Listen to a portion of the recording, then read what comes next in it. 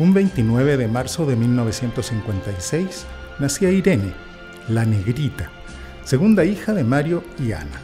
Desde muy pequeña se destacó por ser una chica divertida y alegre, aunque no muy buena para entender los chistes. Una niña aventurera, pero un poquito volada. Una vez se perdió en la playa y la encontraron gracias a que un desconocido la sentó en sus hombros para que la reconocieran sus padres, mientras ella se entretenía comiendo un plátano. En otra ocasión, cayó a un pozo de agua y comenzó a ahogarse, pero cuando su mamá le dijo que se parara, se dio cuenta de que el agua solo le llegaba a los tobillos.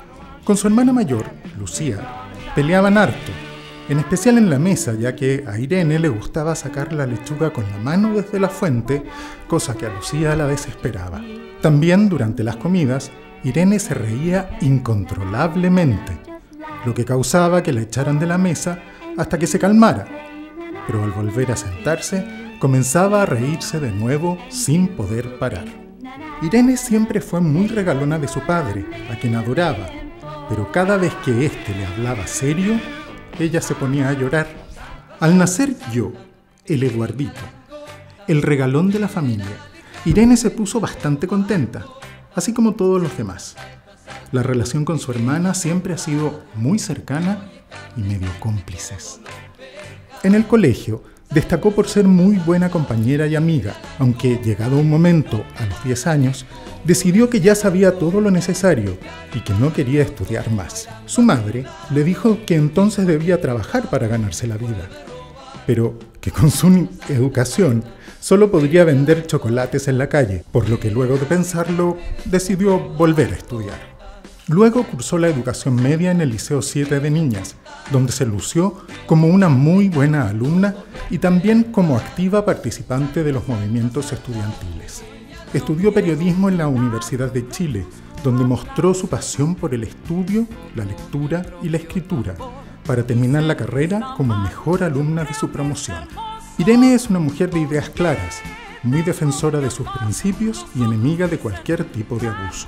Todo eso lo plasmó en su carrera periodística, trabajando en numerosas revistas de actualidad nacional e internacional. Hizo un magíster en relaciones internacionales, lo que le permitió adentrarse en materias de política exterior y acercarse al terreno diplomático, trabajando en el Ministerio de Relaciones Exteriores entre 1990 y 2006.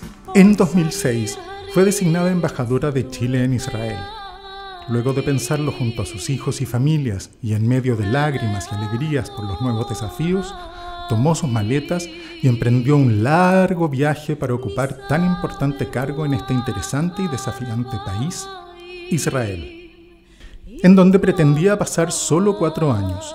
No obstante, el destino le tenía guardado otro camino, y es así como conoce a quien se convertiría en su pareja y compañero de vida, David, entre reuniones, cócteles, cenas, más cócteles. Se casaron en la idílica isla de Chipre, a la que vuelven en numerosas ocasiones disfrutando de paseos en yate. Actualmente la vida de mi madre se desarrolla entre escribir, estudiar, hacer ejercicio, pasear a los perros y ver todas las películas y series que pueda en Netflix y otras plataformas. Pero sin duda lo más importante en su vida son sus grandes tesoros. Nosotros, sus tres bellos hijos, Alejandro, Julián y la favorita, Isidora, por quienes siento un inmenso amor y orgullo.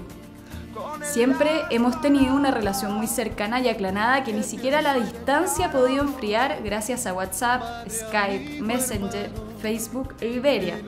Ella aprovecha cada oportunidad que tiene para venir a vernos a Chile y regalonearnos y compartir al máximo. Irene se caracteriza por ser una muy buena madre, hermana, tía, cuñada y amiga. Es respetuosa, considerada y solidaria, generosa y desprendida. Disfruta regalando cosas a la gente que quiere y quiere a mucha gente. Es gran amante de los animales, muy dedicada a sus perros tanto que a veces confunde sus nombres con los de su marido y sus hijos, repitiendo todos hasta que la chunta el verdadero. También es una conversadora interesante y muy cautivante, diplomática y luchadora. Bueno, madre querida, hoy celebramos esto y mucho más. Te damos los mejores deseos y agradecemos la persona que has sido siempre. Esperamos que sean muchas las celebraciones que vengan por delante.